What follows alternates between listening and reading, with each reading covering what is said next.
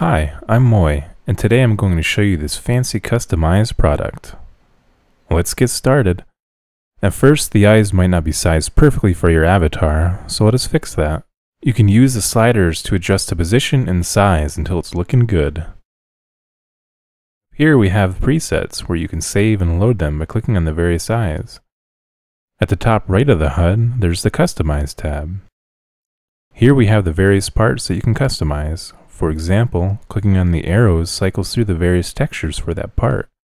If you do not wish to use a pose stand, you can click on the avatar icon to go into edit appearance so your avatar isn't flailing all about because of how cool your new eyes are.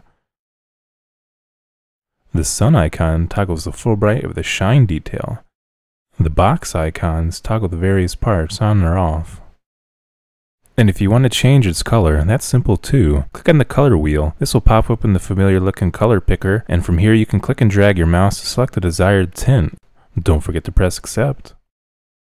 To get a better look at the crowd admiring your fancy new eyes, you can click on the Customize tab eyeball to move them all about. You can press the L and R toggle buttons to customize just a single eye if so desired, useful for making funny faces, and of course changing the color or features of just a single eye.